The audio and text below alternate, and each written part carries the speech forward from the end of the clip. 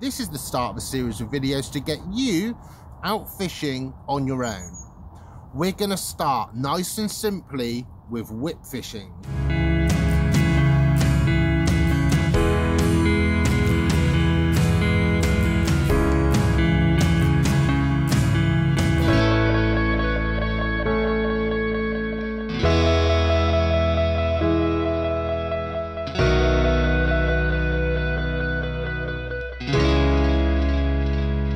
So what is whip fishing?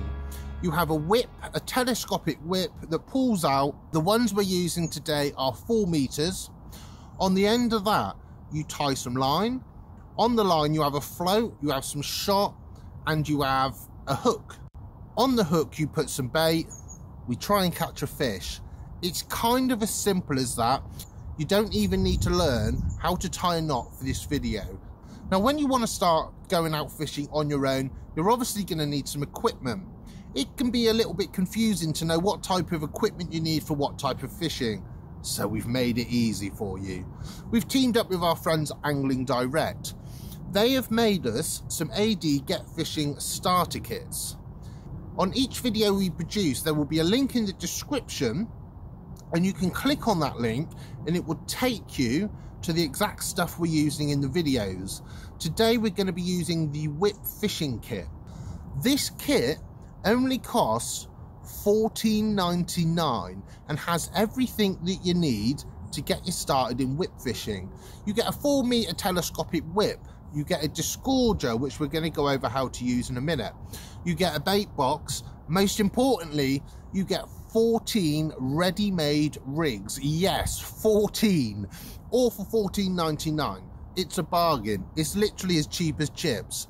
Don't forget, if you're fishing in freshwater in England or Wales, you will need a rod fishing license. You can purchase one of these from gov.uk. There's a link in the description.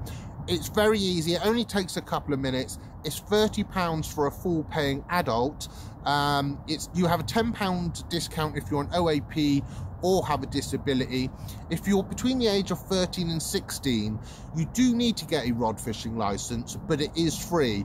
In this series of videos, we're going to be using Angling Trust qualified coaches to help demonstrate how to set up the equipment and how to use it. Today, we've got Dean Asplin. To start with, let's find out what rig that we actually need. There's 14 different rigs. They're all different sizes, all different hook sizes. To start with, to keep it simple, we want a four meter rig with a four meter width. So you've got to match the length of the rig to the length of the whip. You can see all this little information uh, is on each rig. The next thing we're going to look at is hook sizes. Now, hook sizes, let's, let's keep it nice and basic. A size 1 hook is a massive hook. A size 20 hook is a small hook. That's how it works. Nice and simple. So we're going to be using a size 16 hook today. A size 16 hook is great for using one maggot or two maggots. It's going to be fine for what we're fishing for today. Sort of 15 centimeter fish, uh, probably roach and perch today. We're going to go more into individual species of fish further in the series of videos. Really what we're doing today is just to get you started. So what we do is there will be a loop on the end of the rig. You put that loop through the eye of the whip, then you put the rig through the loop. It really is that simple. Now that rig is connected to the whip. Unravel the rig. They all come ready on rig winders. And now you will see there's a float, there's some shots, and there's a hook. It's all connected. You're already ready to fish. It was as easy as that. Next up, we need some bait. Maggots is probably the best all-round bait you can possibly get. Today we've got mixed maggots. You can see there's some red ones uh, uh and there's some white ones. Now, how to hook a maggot onto the hook. On the maggots, you will see there's a blunt end and there's a sharp end you want to put the hook through the tip of the blunt end.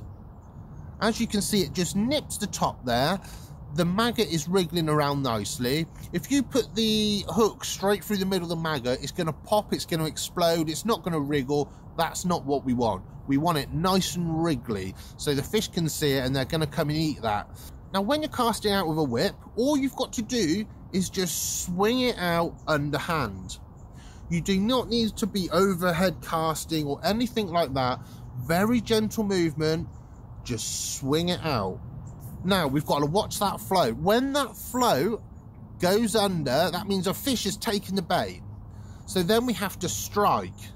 Striking is when the float goes under. You've just got to pull it like that and it just sets the hook. Next up, how do you get the fish in? You will need a landing net. We're going to use a landing net to land all of the fish today, no matter what their size. Now, a landing net does not come with the whip fishing pack. We know that some of you might already have a landing net, and because we've tried to keep the prices as low as possible, we wanted to have the landing net separate. So we have a coarse landing net kit. There's a link in the description. I think it's $13.99 at the time of filming. As you can see, when Dean catches a fish here, he slowly pulls the fish in, puts the net out, scoops it up and brings it in. This makes it nice and safe for the fish. Fish safety is massively important in fishing. We want to catch the fish. We want to unhook it nice and quickly. Take a picture and return the fish. We're going to return the fish in the landing net as well. So there is no harm of come to the fish in any way. They get off about their day uh, and then we can come and catch them another day. Most of the time when you get a fish, you can just pull the hook out nice and easily. We're using barbless hooks today so that the hooks just pop straight out. Sometimes the fish, before you strike, is taking the maggot right down and you won't be able to get your fingers into the fish's mouth. So then we need a disgorger. This comes with the whip fishing pack that we're using today. Dean here is going to show you how to use the disgorger. It's extremely simple. There's a little tiny gap in the disgorger.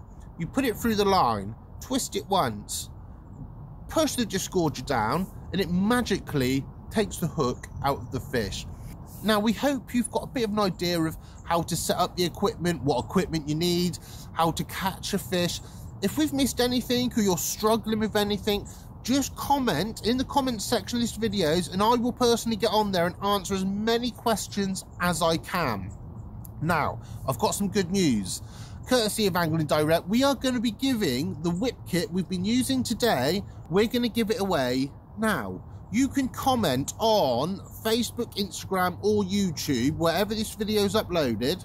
Just put in the comment section of why you want to get into fishing or why you're getting back into fishing. The closing date will be in the description. We've got other stuff to give away.